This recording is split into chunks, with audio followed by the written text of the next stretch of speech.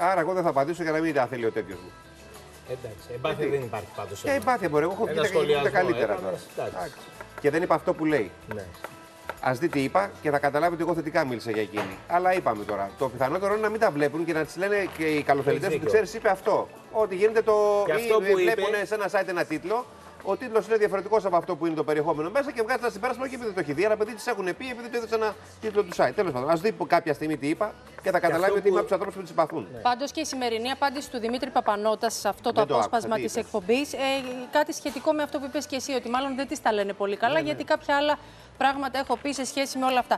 Και επιμένεις σε όλο αυτό ότι αν ήταν άντρας δεν θα γινόταν αυτός ο σχολιασμός, που σε αυτό εγώ έχω συμφωνήσει πάρα πολύ και πιστεύω ότι δεν θα το συζητούσαμε καν. Μα δεν έγινε όμως αυτός ο σχολιασμός. Δεν λέω για μα εδώ, λέω γενικά. Ότι, Εμείς εδώ ότι είπαμε αν ότι το ποσό- έλεγε ένας ποσός δεν άντρας μας ενδιαφέρει αυτό. πόση σχέση έχει ο καθένας. Ότι αν το έλεγε ένας άντρας αυτό, πιθανότατα δεν θα ήταν είδηση ούτε σε site ούτε σε εκπομπές. Ξέρεις Κάνεις κάτι, λάθος. εγώ Γιατί και ο Σπαλιάρος θα βγήκε εκεί είπε ότι έχει πάει με 4.000 γυναίκες. Τασόπουλος Την Είχαμε έχουμε ξανακάνει αυτή τη Κολονάκη στη συζήτηση και δεν είναι το ίδιο πράγμα. Ο άλλος είπε. Έφαγε το κράξιμο το αιώνα. Δεν είναι ωραίο να βγαίνει να κοκορεύεται ούτε ένας άντρας ούτε μια γυναίκα. Δεν είναι ωραίο. Καθένας κάνει ό,τι θέλει και είναι ωραίο το υποκειμονικό είναι.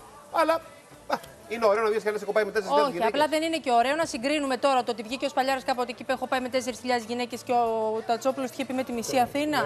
Ε, Εμένα δεν με με το πείραξε να αυτό λέει τη ένας Μαρία. άνθρωπος. Τη Μαρία μας είχε πειράξει, αν θυμάστε καλά, αυτό που είχε πει ότι συνήθως κορίτσια μας απατάνε με δεύτερες. Αυτό είναι που ήταν το φάουλ της Μαρίας. Γενικότερα, με όλο το σεβασμό προς τη Μαρία, γιατί και εγώ δεν τη γνωρίζω προσωπικά, δεν θεωρώ ότι λέει λάθος πράγματα. Τα λέει με έναν τρόπο όμως που πολύ εύκολα παρεξηγείται. Με μια ελευθεριότητα και μια να το κάνει αυτό διατύπωση. όμως για να τη δεν συζητάνε; Ξέρω. Γιατί και αυτό θεμητό είναι, δεν είναι κακό. Και επίσης όταν λες Εντάξει, κάτι δεν μπορώ να δημόσια, το- κάποιος Γιατί άλλος θα άμα το κάνεις ένα σχολιάσει. podcast, ας πούμε, δεν ξέρω πώς το λένε, γιατί δεν κάνω εγώ. Podcast. Podcast, μπράβο.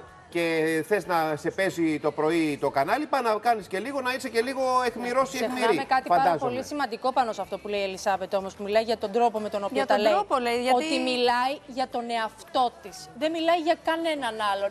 Άρα, όταν προβάλλεις τον εαυτό σου και μιλάει Έχεις για το δικά σου δικαίωμα να βιώματα, μιλάς με έχεις όποιο το τρόπο. δικαίωμα να, να μιλάς με όποιο τρόπο θες. Από την άλλη, όταν δημόσια λες κάτι, Εντάξει, ξέρεις όλα- ότι θα υποστείς και μια κριτική στο πλαίσιο της ευπρέπεια. Σχολιασμό. Δηλαδή, αλλιώς γιατί το κάνεις στο podcast ή γιατί κάνεις εκπομπή στη τηλεόραση, αν κανεί δεν θέλουμε να μας σχολιάσει. Σωστά. Τότε εκτός να πάμε κι στη αν- λογική που πάνε οι δικηγόροι, αν μην πείτε κάτι για μια υπόθεση, θα σας μηνύσω. Ε, Δεν είναι και αυτό λογική. Καλά, δεν Χωρίς- είπε η γυναίκα ότι θα μηνύσει Δεν είπε ότι θα κανέναν, αλλά μηνύσει, αλλά βάζει λέω το τώρα. προσωπικό της όριο το μέχρι που ας πούμε ε, θέλει να σχολιάζεται και με τον τρόπο που θέλει να σχολιάζεται αυτό που λέει. Γιατί μπορεί να εσύ τώρα μην παίρνεις μόνο εσένα, ας πούμε.